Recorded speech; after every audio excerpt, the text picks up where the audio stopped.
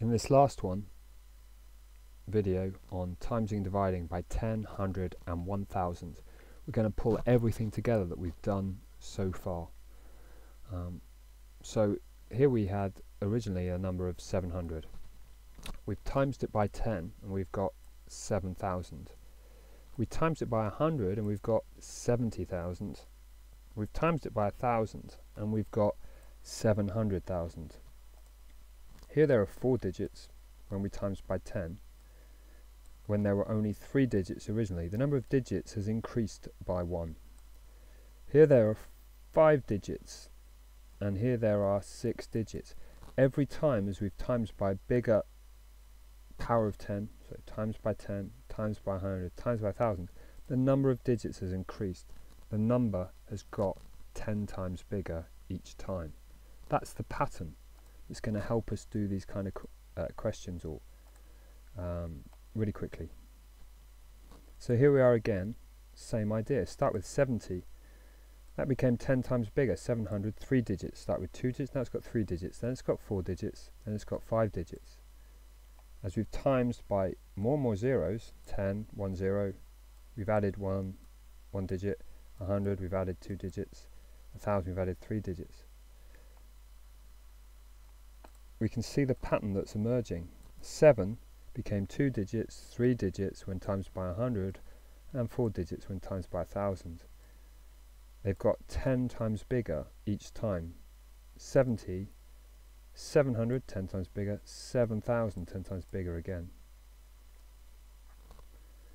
0.77, 70, 700. It works the same with the decimal. Here we've only got, we've got no digits in front of the decimal point. Now we've got one digit in front of the decimal point. Now we've got two digits to the left of the decimal point in front of it. Now we've got three digits to the left in front of the decimal point.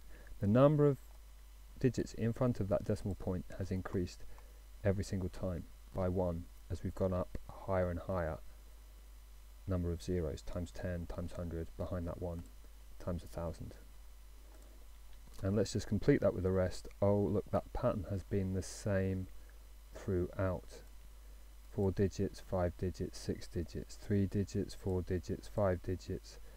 There's only one digit in front of the decimal place. Now there's two digits, now there's three digits, and little error here, that should be 2300. Now there's four digits, and the digits haven't changed every time. If it was 2.2 and a 3 to start with, there'll be a 2 and a 3 throughout. If it was a 7 to start with, there'll be 7s throughout. Okay, so what about dividing by 10? See, it's kind of like the inverse pattern the reverse pattern. So the number of digits going to get, you tell me, yeah, less each time. Here we've got five digits in front of the decimal, to the left of the decimal. Now we've only got four when we divided by 10. When we divide by 100, we've only got three left in front of the, the decimal. When we divide 1,000, we've only got two left. Look at those. The digits have stayed the same, sevens and zeros, sevens and zeros, sevens and zeros. The number of digits has reduced by one each time we've divided by another zero after that one. 10 then 100 then 1000 the same thing happens here with starting with 7000 instead of 70,000 we start with 7000 that was four digits in front of the decimal. Now it's only three now it's only two now it's only one. They're 10 times smaller. As we go from divide by 10 to divide by 100 to divide by 1000 the answers are 10 times smaller every time and that carries on throughout we can see that pattern is common throughout 7. There's two digits in front of the, the decimal place to the left of it. Now there's only one. Now there's none. There's no digits in front of the decimal place. Now there are two digits behind the decimal place. So two digits in front of the decimal place, one digit in front of the decimal place or to the left of. Now it's moved to the right of the decimal place. There are now no digits in front of, to the left of the decimal. Now there are two digits to the right of that decimal place. They've got 10 times smaller. One digit in front of, one digit behind, two digits behind the decimal place, three digits behind the decimal place, which you can also think of as right, right or behind, whatever you find uh, makes the most sense to you and therefore is memorable. Five digits in front of the decimal place, now only four, then only three, then only two. As we've divided by 10, 100 and 1000, it's got 10 times smaller every time. Last one, let's just check it fits that pattern. four digits in front of the decimal place to the left of it, three digits to the left of it, two digits to the left of the decimal place, only one digit left to the left of the decimal place. And all the digits are the same because we're dividing by 10, 100,000. That pattern holds too. Hopefully that's sewn all the different seeds together and you've now feel like you've got a good overview of how timesing and dividing by 10 and 100 and 1000 works. If you have, have a go at these questions and see if you can answer them.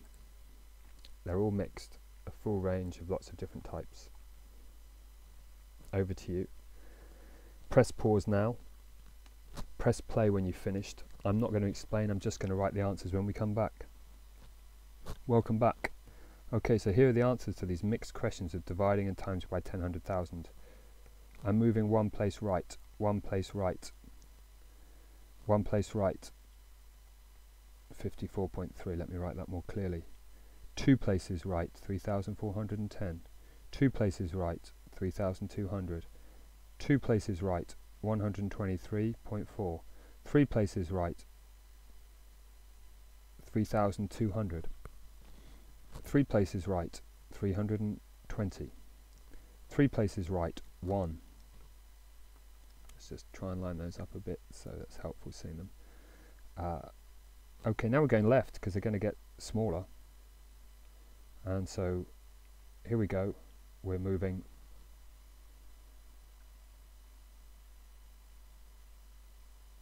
sorry, all of these were moving left because they were timesing. I kept saying right. All of these were moving left because we're timesing. Apologies, I kept saying right. Now when we're doing all of these move left, all of these moves left, all of these move left. Well, the answers are correct, but what I was saying was uh, right instead of left. My apologies. 43 divided by 10, they're going to move one place to the right. 432 divided by 10, one place to the right. Point 2, one place to the right. 432, two places, because 100 has two zeros, two places to the right. 100 has two zeros, so two places to the right again. And all the digits finally move another two places, uh, the final two places to the right, to give us 0 0.002. If you got only like only two wrong or less, well done, great job. If you got none wrong, superb you've got it.